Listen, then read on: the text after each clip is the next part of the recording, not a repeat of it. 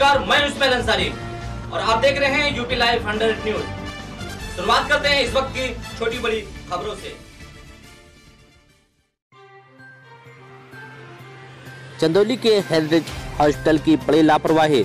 नवजात शिशु की गई जान जीएनएम और स्टाफ के भरोसे चलाया जा रहा था हेरिटेज हॉस्पिटल।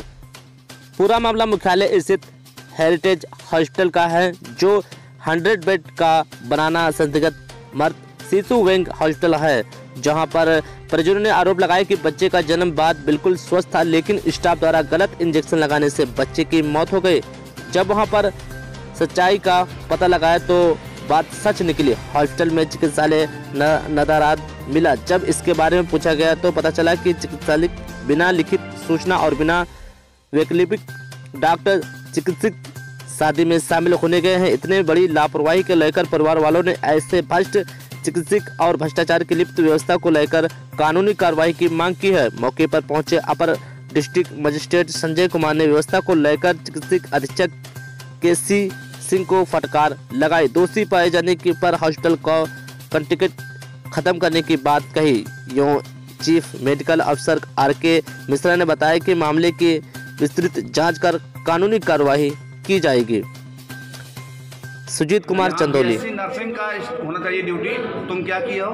जी सर जी एन जीएनएम किए हो जीएनएम कहाँ से चार्ज किए आप उठाए हो। हो? एक मिनट जीएनएम कहाँ से किए हो? जी ये चंदौली से Singh nursing apartment Abhishek paramedical से किए हो। तुम्हारे भरोसे ये पूरा वार्ड छोड़ दिया गया है पेडियाट्रिक स्पेशलिस्ट के भरोसे। पेडियाट्रिक स्पेशलिस्ट कौन है यहाँ पर? Sir doctor Zakullah. हाँ? डॉक्टर जकूल्ला। जकुल्ला? अभी तो तुम विकास पांडे कर रहे थे। इलेक्ट्रिशियन वो है आर जो है ऑन ड्यूटी अच्छा आर एम ओ है Vikas Pandey. R M O भी गायब है? जी और पेडियाट्रिक स्पेशलिस्ट भी गायब करने गए हो? जी बच्चा हो रहा है उसको रिसीव करने गए। यह बच्चा हो रहा है। बच्चे को रिसीव यहाँ ब्लॉक नहीं किया जाता है। यहाँ बच्चे को नर्सिंग नर्स लेके आते हैं यहाँ एडमिट कराया जाता है बकायदे। ये हमको मत बताओ मैं सब जानता हूँ। एक पेडियाट्रिक स्पेशलिस्ट थोड़े जाएगा रिसीव करने के लिए बच्चे को। जी वो आप आएँगे उनसे बात कर लीजिए आप।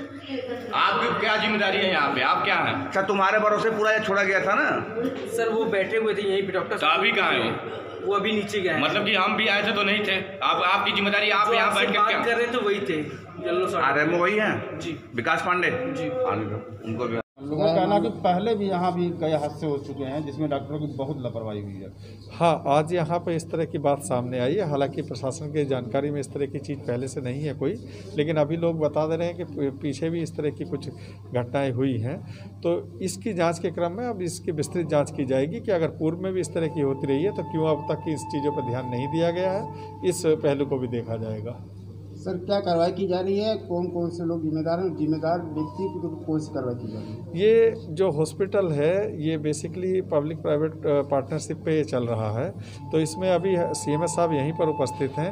यहाँ पे हम लोग अभी कॉन्ट्रैक्ट की कॉपी इनकी निकलवा रहे हैं। जो हेरिटेज हॉस्पिटल हेरिटेज इनको चला रहा है, इस, उसने किन शर्तों पर यहाँ कॉन्ट्रैक्ट किया, कितने डॉक्टर्स की उसने बात की है, कितने डॉक्टर्स यहाँ पर उपस्थित हैं, और कितनी यहाँ पर उनसे जो व्यवस्थाएँ उन्होंने कहा है, क्या वो व्यवस्थाएँ दे पा रहे हैं या नहीं दे पा रहे हैं, अब इस सब चीज़ की विस्तृत जाँच होगी, और आज की जो घटना हुई है इसकी भी विस्तृत जाँच होगी कि किस कारणवश से किसकी लापरवाही से, किस डॉक्टर की लापरवाही से, मैनेजमेंट की लापरवाही से जिसकी भी लापरवाही से ये घटना हुई है, उसको दोषी को किसी भी हाल में बख्शा नहीं जाएगा। उसके विरुद्ध और जो भी मैनेजमेंट है, उसमें भी जो कमियाँ होंगी, उसके विरुद्ध भी कड़ी कार्रवाई इसमें की जाएगी। यहाँ से सुनना है सर कि स्टाफ के द्वारा परिजनों के साथ बदसलूकी भी किया जाता है, आए दिन इस तरह की भी सूचनाएँ आ रही हैं। इस तरह के लिए भी लोग शिकायत कर रहे हैं सामने और इस तरह की चीज़ें सीएमएस साहब को यहीं पर निर्देश दिया गया कि सीएमएस साहब इसमें अब प्रतिदिन प्रतिदिन इसमें लगातार मॉनिटरिंग करेंगे और इस तरह की घटना किसी भी स्टाफ के द्वारा की जाएगी तो इस स्टाफ को तत्काल यहाँ से बाहर किया जाएगा। चूँकि मृत्यु हुई है घटना बहुत ही दुखद है। इस पर मैं मैं अत्यंत अंदर से बहुत दुखी हूँ और मेरे से जो कुछ भी संभव हो सकेगा इसके विरुद्ध कड़ा कदम में उठाऊँगा सर हेरिटेज इतना बड़ा नाम है इतने लपर लापर इतनी बड़ी लापरवाही कैसे क्या लगता है इतने बड़े ब्रांड है हेरिटेज उसके खिलाफ कार्रवाई कर पाएँगे आप लोग? और जो भी संभव होगा मैं शासन को इससे अवगत कराऊँगा अपने स्तर से और जो भी कड़ी से कार्रवाई हो- करनी होगी। सर के खिलाफ कौन सी कार्रवाई की जाएगी और कब तक की जाएगी? शीघ्र शीघ्र इस पर निर्णय लिया जाएगा और कार्रवाई की जाएगी। स्टाफ के द्वारा आए दिन परिजनों से बदसलूकी होती है और इसकी शिकायत आप तक नहीं पहुँच रही है। कहीं ना कहीं आप अपनी भी ज़िम्मेदारी मानते हैं। नहीं नहीं कुछ कुछ तो भनक मुझे मिलती रहती है और मैं काफ़ी परेशान रहता हूँ। भनक मिलती रहती है तो अब तक कोई कार्रवाई करी कोई इस, इसके लिए जो है मैंने काफ़ी ऊपर बात किया है लेकिन कोई तो आपके हाथ में है कार्रवाई तो कर ही सकते हैं। यानी आप खुद कर्मचारियों को कार्रवाई नहीं करना चाहते हैं? नहीं नहीं ऐसी बात नहीं है। तो आपके देख रेख में है इसमें नहीं मेरे देख रेख में। जी। मैं इसका संचालक नहीं हूँ। इसके बराबर में आपके पूर्व में भी आपके पास सूचना कर्मचारियों की लापरवाही की आई है उसके बाद भी कार्रवाई कहीं ना कहीं ना न करना आपकी भी गलती की दर्शाती है। ऐसी बात नहीं है। ये पी मॉडल पर अस्पताल चलता है और जो भी संभव होता है मेरी ओर से इस अस्पताल आपकी को आप ज़िम्मेदारी तो लेंगे ना? ज़िम्मेदारी तो टोटल आप लेनी चाहिए ना आपको ज़िम्मेदारी? तो क्यों नहीं स्वास्थ्य लेनी विभाग चाहिए की है पूरी। नहीं आपके ऊँचे कहने का मतलब कि आपका इस हॉस्पिटल से लेना देना नहीं है। मैनेजमेंट मैं नहीं देखता हूँ इसका। और क्यों न मान लिया जाए कि अगर चार डॉक्टर की ड्यूटी है और एक डॉक्टर पे चल रहा है तो भ्रष्टाचार पूरी तरह से तरीके से चल रहा है हाँ मैं इसे स्वीकार करता हूँ।